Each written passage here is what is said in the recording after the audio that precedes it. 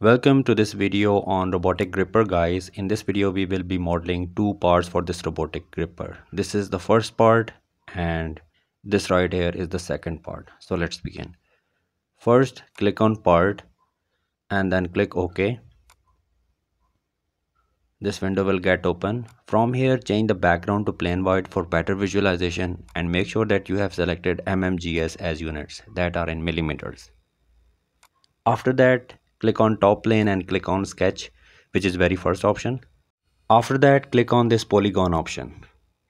And here make sure that you have selected six numbers for this polygon. You can increase and decrease it. But make sure that these are six. Make here a hexagon like this on this origin.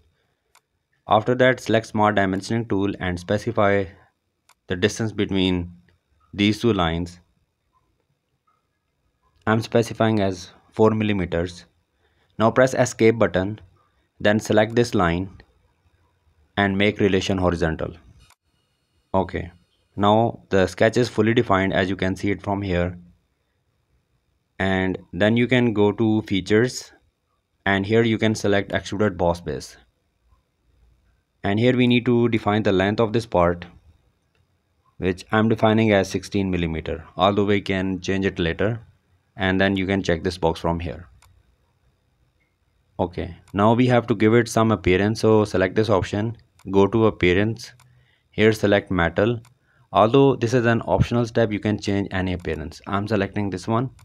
And now let's just save this part. For that click on file click on save as and here you have to name it as aligner and after that click on save and then cross this window. Now we are done with first part and making the second part so click on part and click OK while opening a new part file. Here change the background to plain white from here and similarly we have to make sure that we have selected mmgs as units which are millimeters. Now click on front plane and click on sketch and here I'm selecting this center point straight slot and on this origin make a straight slot like this. Make sure that this is horizontal but let's suppose if, if this is that angle we can fix it as well. So click here and then drag it like this and then click here again. Now select this line and make relation horizontal. Now this will be straight. Now we have to assign it some dimension. So select smart dimension tool and here specify the length of this center line as 50 millimeter.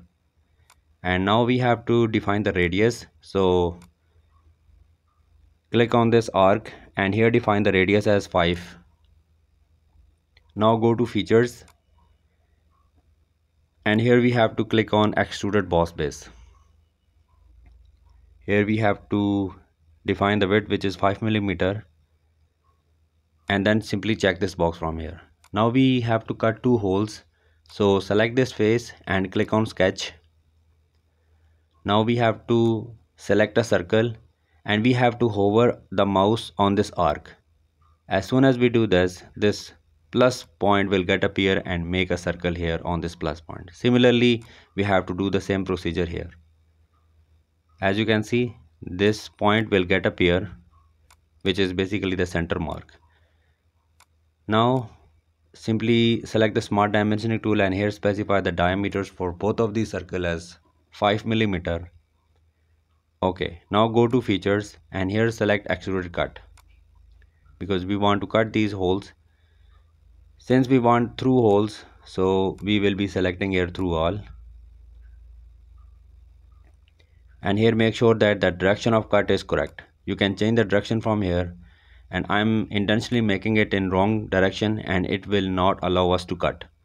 We have to make the this arrow direction in the right way like this and then check this box from here.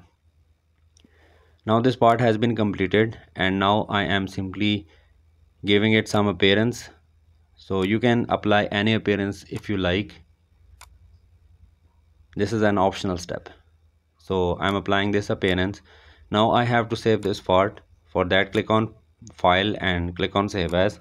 Write the name as clamp support and then save it and you can cross it from here now we have completed two parts of this robotic gripper. If you want to find the rest of the videos you can find the link in description. Thanks for watching